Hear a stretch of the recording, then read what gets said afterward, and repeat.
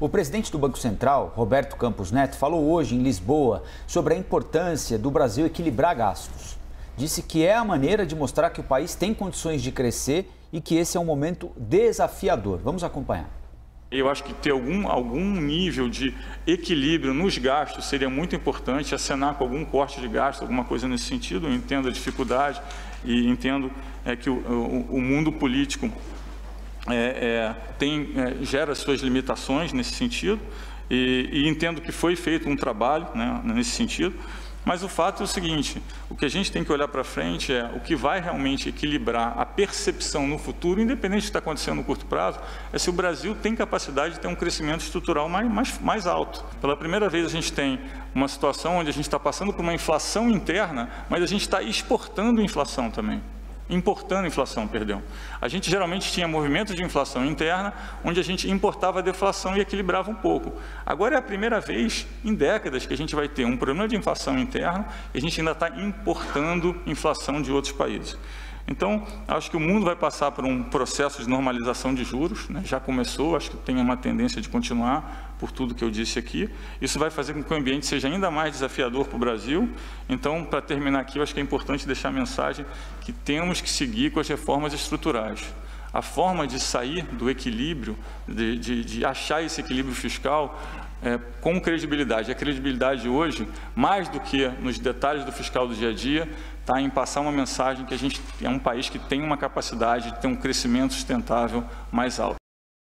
Bom, quero ouvir um pouquinho a Priscila Asbeck sobre o que disse o presidente do Banco Central lá em Portugal. É, Priscila, lembrando que semana passada, antes de embarcar para Dubai, participando de um evento aqui em São Paulo, o ministro Paulo Guedes disse que o teto de gastos é apenas um símbolo, uma bandeira de austeridade. Não podemos ser dogmáticos a respeito dele, porque nesse momento aqui, segundo o ministro, se fôssemos dogmáticos, poderíamos submeter o país a uma tragédia econômica e sanitária. Então, essa sinalização que o presidente do Banco Central pede de responsabilidade fiscal virá de onde, Priscila?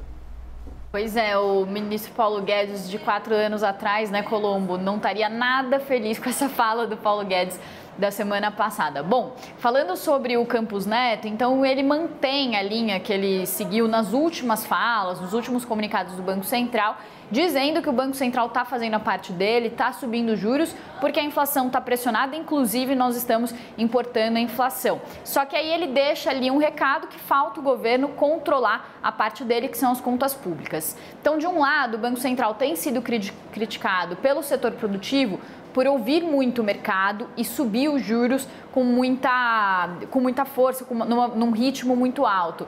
E seguindo o que o mercado quer, esfriando com isso a economia. E aí o que esse setor produtivo alega é que subir os juros nessa magnitude, nesse ritmo muito alto, não vai ajudar a conter alta dos preços administrados, como energia, que são um dos itens que mais estão influenciando a inflação. Por outro lado, o Banco Central também é criticado por uma parte do mercado que diz que o BC demorou para subir, subir, os juros e precisava fazer altas maiores, deveria ser mais duro. Então, para o Banco Central não ser acusado pelo mercado de não ter sido agressivo com os juros, o Campos Neto terceiriza o problema para o lado fiscal, diz que é o governo que não está fazendo a parte dele, está bagunçando as contas públicas, isso acaba batendo no dólar, na inflação e com isso o Banco Central acaba tendo que aumentar os juros. Eu conversei com o Gabriel Barros, que é economista-chefe da RPS, e ele fez um comentário bem duro sobre o presidente do Banco Central. Ele falou que a verdade é que esse é um dos presidentes do Banco, de Banco Central mais políticos dos últimos tempos e disse que com essa postura, essa postura recente aí do Campos Neto, ele tem minimizado a gravidade da situação econômica que nós estamos vivendo, com furo de teto, crise fiscal e crise econômica, com aumento de juros.